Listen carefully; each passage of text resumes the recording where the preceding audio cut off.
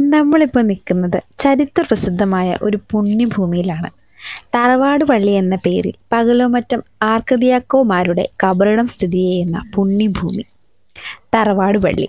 A D അമ്പത്തിരണ്ടിലാണ് Thomas ലിഹ ഭാരതത്തിലെത്തുകയും ജനങ്ങളെ മാമോസ് മുക്കി ക്രിസ്ത്യാനികളാക്കുകയും ചെയ്തത്.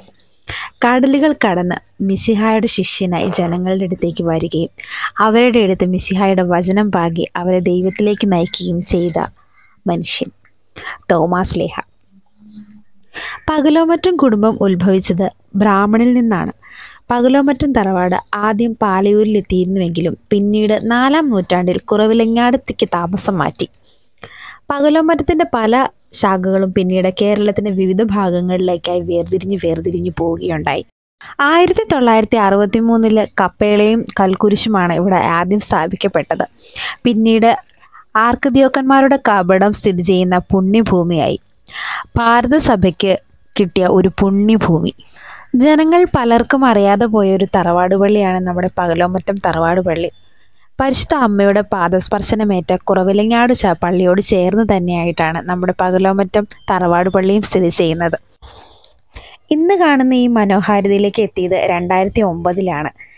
അന്ന് ബഹുമാനപ്പെട്ട ഡോക്ടർ ജോസഫ് മലയാപ്പറമ്പിൽ ആണ് ഇതിന്റെ പുനർനിർമ്മാണത്തിന് നേതൃത്വം വഹിക്കുകയും ഇത് നിർമ്മിക്കാനുള്ള മുൻകൈയെടുക്കുകയും ചെയ്തത്. പഴയ തറവാടിന്റെ രൂപകൽപ്പനയോട് തന്നെയാണ് തറവാട് പള്ളി നിർമ്മിച്ചിരിക്കുന്നത്. നല്ല മരപ്പണികളോടും ഭംഗിയോടും കൂടെ. ഇവിടുത്തെ ക്രിസ്ത്യാനികളുടെ ഭരണ നേതൃത്വം അക്കാലത്ത് ആർക്കദീസക്കന്മാരോടെ നടത്തിയിരുന്നത്. വിദേശത്ത് നിന്ന് വരുന്ന മെത്രാന്മാർ ഭാഷയും ആചാരങ്ങളും മതരാഷ്ട്രീയ കാര്യങ്ങളും നന്നായി അറിയുന്ന ഒരു നാട്ടുകാരന്റെ സഹായം അനിവാര്യമാണെന്ന് മനസ്സിലാക്കി അതിനുവേണ്ടിയാണ് ആർക്കദീസക്കന്മാരുടെ സഹായം അവർ ഉപയോഗിച്ചിരുന്നത്. നസ്രാണി സമൂഹം ഒന്നാകെ ശ്രേഷ്ഠ ആചാര പദവിയായിട്ടാണ് ആർക്കദീസക്കന്മാരെ കണ്ടിരുന്നത്. വൈദിക വിദ്യാർത്ഥികളെ തിരഞ്ഞെടുക്കാനും മെത്രാന്മാരെ നിയമിക്കാനുമുള്ള അവകാശം ആർക്കിദീസക്കന്മാരാണ് വ്യക്തമാണ്. പകലോമറ്റം കുടുംബത്തിൽ നിന്നാണ് ആർക്കദീക്കന്മാരെ തിരഞ്ഞെടുക്കുന്നത്. കുറവിലങ്ങാടും കൂടാതെ തന്നെ അങ്കമാലിയിലും ആർക്കദീക്കന്മാരാണ് ഭരണം നടത്തിയിരുന്നത്. ഈ കൽ മണ്ഡപങ്ങളിൽ അഞ്ച് കബറിടങ്ങൾ സംരക്ഷിച്ചുകൊണ്ടാണ് പാരമ്പര്യം പോകാതെ ആചാരാനുഷ്ഠാനങ്ങൾ നടത്തിപ്പോകുന്നത്. ഇരുപത്തിനാല് കൽത്തൂണുകളും നാൽപ്പത്തിനാല് അടി നീളവും മുപ്പത്തിനാല് അടി ഉയരവുമുള്ള ഈ കെട്ടിടം കൃഷ്ണശിലയിലാണ് നിർമ്മിച്ചിട്ടുള്ളത്. കാലം ഒട്ടും കോട്ടം തട്ടാതെ പൊതു പൈതൃകമായിട്ടാണ് ഈ പുണ്യ കുടീരം സ്ഥിതി ചെയ്യുന്നത്. യുവജനങ്ങൾക്ക് അതീതമായി നിലകൊള്ളാനും പ്രചോദനം നൽകുകയും ചെയ്യുന്നതാണ് ഈ സമാധി മണ്ഡപം. ഇവിടുത്തെ കൽക്കുരിശുകൾ എണ്ണയൊഴിച്ച് തിരി തെളിയിക്കുന്നതാണ് ഒരു പ്രധാന നേർച്ചയായി വിശ്വാസികൾ അനുഷ്ഠിച്ചു വരുന്നത്.